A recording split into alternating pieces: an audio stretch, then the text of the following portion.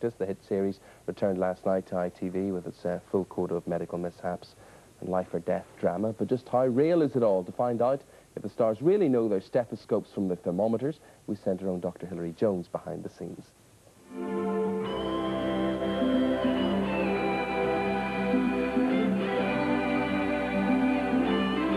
In this quiet and picturesque village in Derbyshire on what must be one of the coldest days of the year so far. Ask any of the film crew working over there behind me on the current series of Peak Practice just how freezing it is, and I'll certainly be able to tell you. Now, fans of the series will recognise The Beeches, the place where the surgery is set in this fictional village of Cardale. Now, I'm here on a kind of exploratory operation to find out just how they make everything look so realistic.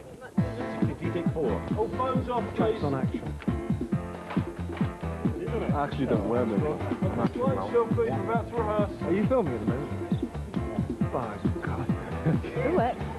Good morning. Ah, now, I haven't got an appointment, but I'm rather fully booked. Oh, I was hoping you'd put me down as an extra this morning. I'd like to see that nice Dr. Erica. Oh, yes, she's definitely the nicest. yes. Now, Saskia, you play Dr. Erica I do, Matthews. yes. And uh, tell me about this building. You've still got your coat on. I Isn't still there have my coat on. There heating? it's, it's absolutely freezing, and when it's shown on the programme, it looks all snug and cosy, but in fact, it is. Now, this is your appointment book. This is the appointment book, very professional. Dorothy Perkins has an appointment here for later on, and these are our very professional notes. The original here Lloyd George in our lovely reception area. And um, I think now I will take you and show you to my room. How nice. Well, what did she say? I can't discuss it, you know that. Oh, I see. Good old patients rights, eh? So when exactly do my rights kick in? This is my very, very spacious consulting room, which is very full of people at the moment because we're just setting up for a shop. So. Yes, it's not very confidential, My is it? close-up, I believe so. and this is Yvonne, who is sitting here so they can light me, so I can go in and actually have a cup of coffee while Oh, Yvonne right. sits there.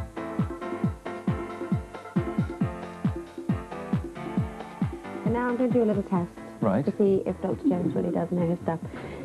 Can you tell me what Largactil is? That's for schizophrenia. Ooh, it's a good. sedative for That's schizophrenics. that's not bad. And thyroxine? That's for anybody with an underactive thyroid. You see, Oh. you can't catch me up. No, I can't, can I? Would you like a job?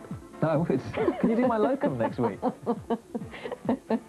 Could you do my acting? I am very sorry, Mr. Barrett. It appears I did misdiagnose your condition. It is indeed more serious than we thought. You wouldn't be told, would you? But you haven't got an ulcer. What?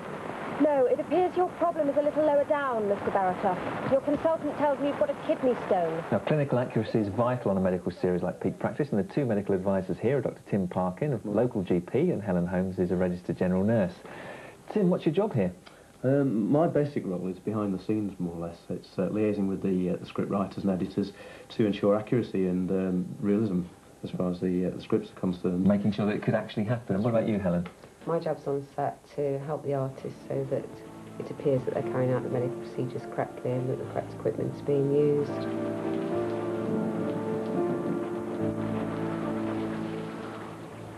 Now, here we are. We're in the makeup unit, and what do we have here? Frothing blood capsules, non-stain imitation blood, and uh, artificial skin. Let's meet Carol Cooper, who's the makeup designer. Hello. What's the most challenging makeup you've ever had to do? Well, involving this stuff recently, we had a big burn to do on somebody's back, and um, we tend to heat this stuff up and paint it on the skin, and then it looked fairly gruesome.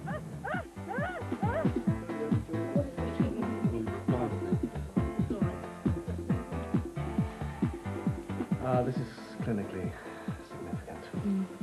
Very serious. It's terminal. Luckily, none of these doctors are medically qualified. No, we were talking about your acting. Acting.